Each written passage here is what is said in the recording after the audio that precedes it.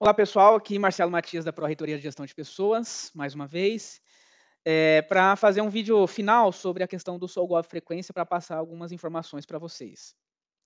É, como eu falei nos outros vídeos, né, a, o SolGov Frequência está disponível desde janeiro de 2024. E o Ministério da Gestão, Inovação e Serviços Públicos, desde setembro, outubro, já tem incentivado aos órgãos que utilizavam o SISREF a preparar essa migração.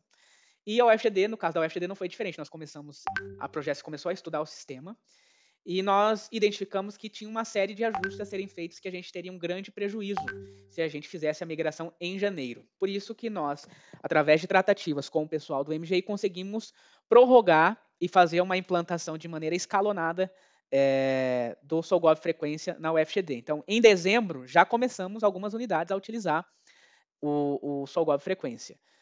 E aí, em fevereiro, nós avançamos para mais algumas unidades. E em abril, avançamos também com um avanço importante em várias pró-reitorias e setores administrativos. Para daí, em maio, a gente dar esse avanço completo do Solgov Frequência. Para que a gente tenha uma regulamentação é, no âmbito da UFGD, está sendo publicada, agora no final de abril, uma instrução normativa da reitoria que vai dizer todas as informações relativas ao controle de frequência muito similar ao que a gente tinha anteriormente é, na instrução normativa que regulamentava a utilização do CISREF na UFGD. Uma alteração que a gente teve importante, pessoal, no final do ano passado, que eu não sei se todos os colegas têm ciência, foi publicada a instrução normativa da Secretaria de Relações do Trabalho do Ministério da Gestão, Inovação e Serviços Públicos, número 38, de 20 de novembro de 2023.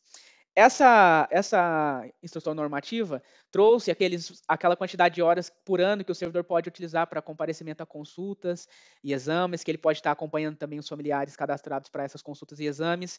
É, servidor que pode estar acompanhando a sua esposa que está no período de gestação também tem um período, uma quantidade de horas que ele pode estar acompanhando a sua esposa nessas consultas e exames também.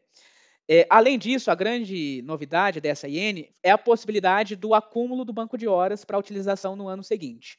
Então, anteriormente, a regulamentação anterior dizia que as horas do banco de horas deveriam ser usufruídas até o dia 31 de dezembro do corrente ano. A partir dessa instrução normativa, é possível que o saldo de 2023 possa ser utilizado em 2024. E essa é uma alteração que nós vamos incluir na nova normativa que nós vamos publicar pela reitoria da UFGD nos próximos dias para vigorar já em maio. Tá?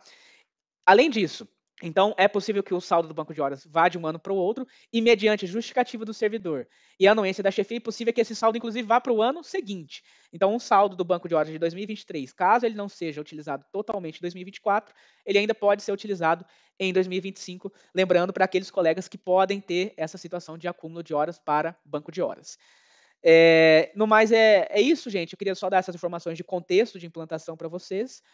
É, e mais uma vez reforçar a disponibilidade da equipe da, da Progesp nesse processo de implantação aí do módulo Solgov Frequência. Ok? Qualquer coisa, permanecemos à disposição, entre em contato com a gente. Aí. Obrigado.